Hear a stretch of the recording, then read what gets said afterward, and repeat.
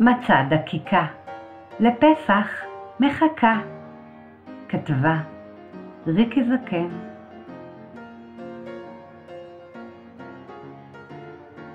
מצות דקיקות, לחג הפסח מחכות.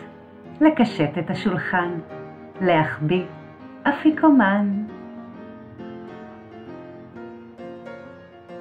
מצות קשות, בחג הפסח מרעישות.